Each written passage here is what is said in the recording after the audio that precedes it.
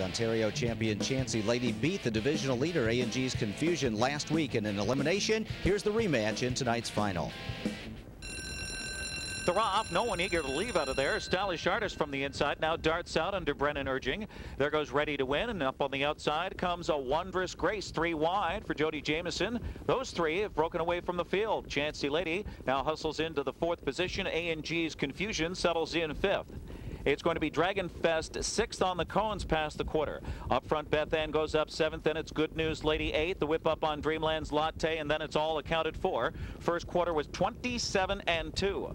Stylish Artist, elimination winner, not for long. A big brush now from Chancey Lady. Mark MacDonald looking to plant her up front. Chancey Lady, elimination winner, surges up, takes command. Stylish Artist now second, so elimination winners 1-2. Ready to win all over the Brennan helmet in third. Wondrous Grace, the long shot fourth there. A&G's Confusion edging out of fifth for Campbell.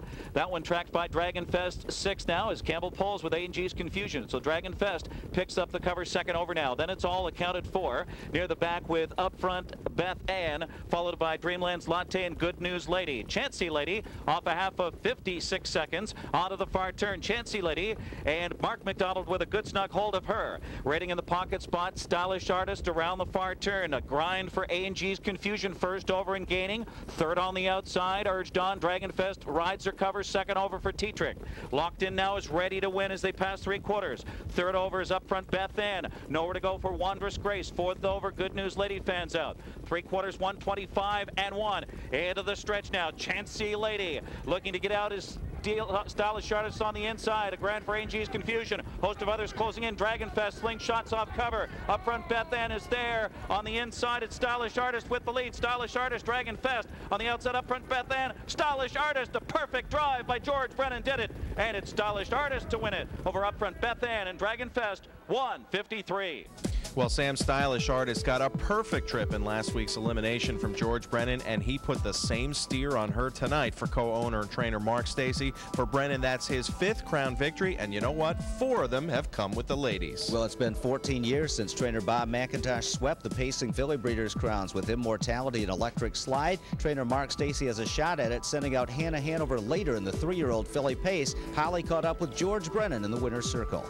Couple of prize fillies for George Brennan, Mackenzie Brennan right here, and stylish artist George. Tell us about going into the race. You had post one. You had a perfect trip in the elimination. What were you thinking before the race? You, you know, everything just worked out perfect. Once Mark picks, picked the two hole last week, I picked the rail, and, uh, you know, it's tough to map out any trip but uh, that's kind of how I mapped it out. You know, you, you, know, try to seat everybody, and I, you know, knew Mark would come and uh, get a good trip, and I was lucky enough to find a seam up the inside, and uh, she finished it off. A&G's confusion was first over, top of the stretch. Where were you at this point? I was still in the two hole, just hoping I could find some room. And you found room, and she responded pretty well. Yeah, she did. Yeah, she's a she's a quality filly, and uh, it's a heck of a note to uh, end the season on. Last night was a little windy. How's the track playing tonight? How's the weather tonight? Yeah, it's a little windy back there, but the track's really good, and uh, you're going to see some good races tonight. Mark Steacy sends him out ready pretty well. You've done well with him. Hannah Hanover goes later. What about her? You know, she, has got a big shot in there. So, you, you know, uh, there's a couple of really good fillies in there, but, uh, you know, she's a good filly herself.